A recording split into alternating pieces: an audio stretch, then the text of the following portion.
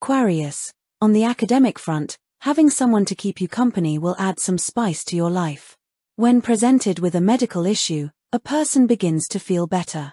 You'll learn that there are benefits to being a yes guy at work.